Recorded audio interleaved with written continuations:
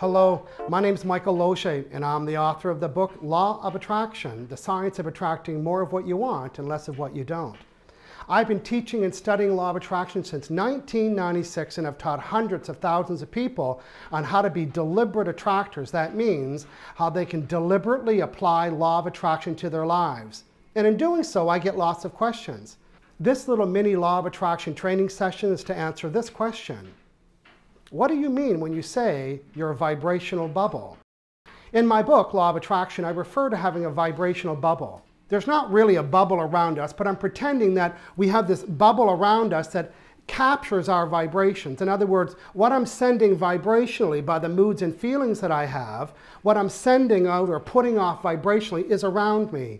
And the obedient law of attraction is responding to that vibration by giving me more of the same vibration that I'm sending. So my question to you is, what is law of attraction picking up when it's checking your vibrational bubble? What is it responding to?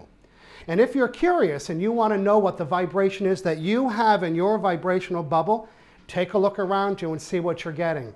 It's a perfect match. So when you're complaining and when you're worrying and when you're celebrating and bragging and when you're making a collage and telling 10 friends and when you're visualizing, that is causing you to include the vibration of the way you want it to be and the obedient law of attraction is unfolding and orchestrating to give you more of what was in your vibrational bubble. So my question to you is, what are you including in your vibrational bubble?